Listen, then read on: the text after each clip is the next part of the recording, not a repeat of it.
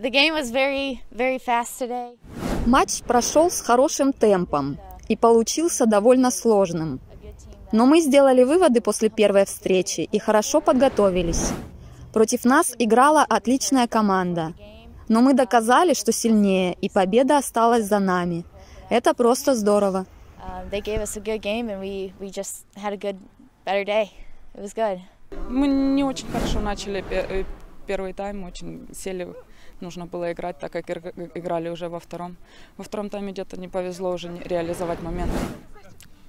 Хорошая команда. Нам где-то не повезло. бүгінгі ойын қиын болды украина командасы жақсы дайындықпен келген ә, настройлары да жақсы болды ә, бірақ біз де бүгін ә, жақсы ойын көрсетуге тырыстық соған ә, бірде нөл есебімен жеңдік Ә, со, ә, украина салған голымыз бізге жақсы көмектесті бүгін.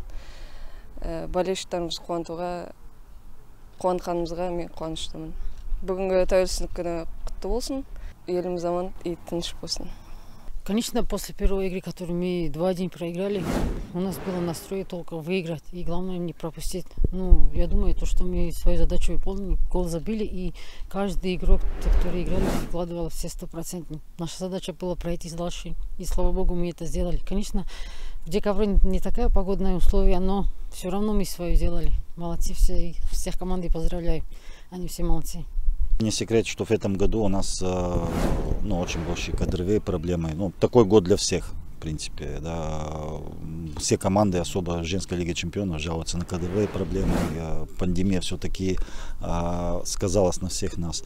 Поэтому мы собрались в сентябре. У нас было очень трудно э, подготовиться в плане психологического, потому что мы всегда играли в группового этапа, в квалификации. Нам эти игры подготавливали к на 16 а тут раз сразу как-то мы а, вышли, ну, как рейтинговая команда, выли- вышли в 1-16. Постарались, конечно, подготовить команда, э, но мы по ходу сезона потеряли э, два ключевых игроков, э, Литвиненко и один из, э, один из наших защитников, который восстановился, конечно. Но э, в самом деле э, первая игра, мы сложности у нас и то, что мы сделали в Украине, конечно, предопределило сегодняшний матч, потому что мы пришли с первой игры с негативным результатом, нужно было сегодня выигрывать. Должно быть получше, но я думаю, что сейчас После этого матча команда уже подготовится на мартинские матчи. Мы в 1-8 снова. Это очень хорошо в плане того, что э, мы продолжаем подниматься в рейтинге, продолжаем э, ну, э, в кавычки таскать за нами вторую команду. И желаем, чтобы как-то вторая команда уже из Казахстана была более сильнее, более, более хорошо подготовлена. Сегодня у нас получился двойной праздник. Это и День независимости, и выход команды БИК в 1-8 финала да, Лиги чемпионов. Действительно, сегодня хорошая команда.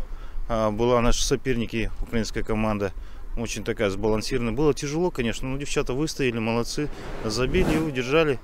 Но, конечно, игра была очень такая напряженная, такая с тактическими замыслами тренеров. Но в ко- конечном итоге мы выиграли и прошли